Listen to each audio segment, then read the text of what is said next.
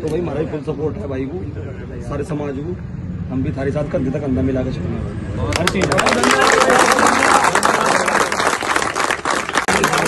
जैसे कि आपको पता है कि बीजेपी आरएसएस द्वारा जो इस तारीख को गौरव यात्रा जो झूठी गौरव यात्रा जो मिहिर बोझ जो प्रतिहार वंश के राजपूत थे उनको लेकर निकाली जा रही है। उस पर बड़ी खबर सामने आई है कि सहारनपुर का मुस्लिम राजपूत समाज खुलकर क्षत्रिय राजपूतों के हक में आ खड़ा हुआ है। तो भाई हमारा भी फुल सपोर्ट है भाई को सारे समाज को।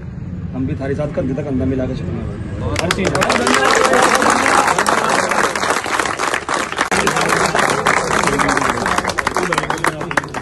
कौन सा भाई?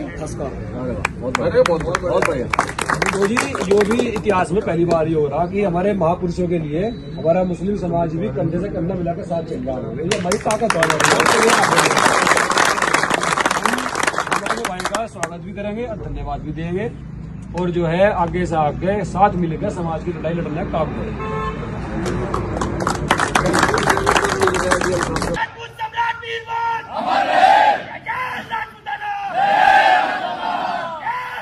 बहुत बड़ा फ़ायदा होने वाला है, क्योंकि इतिहास चोर अपने दोनों धर्मों को साथ लेकर चल रहे थे और वहीं उनकी आबादी केवल एक लाख बीस हज़ार जो हिंदू हैं, उनमें है और चालीस हज़ार जो मुस्लिमों में है सहारनपुर में। टोटल एक लाख साठ हज़ार।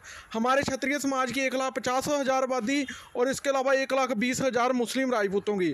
अब हमारी टोटल बन जाती है तीन लाख तकरीबन, दो लाख सत्तर हज़ार और वो एक लाख साठ हज़ार ही।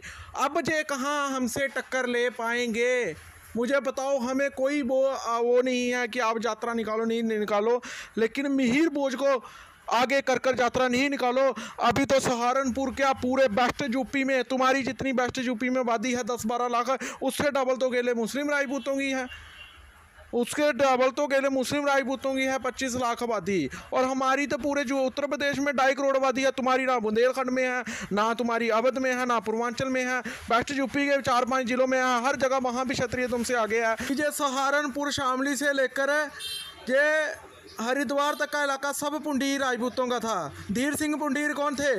जो जो पृथ्वीराज चौहान के लिए युद्ध लड़े थे। क्या इतिहास है? ऐसे ही परिहार वंशजों की बहुत सारी रियासतें हैं।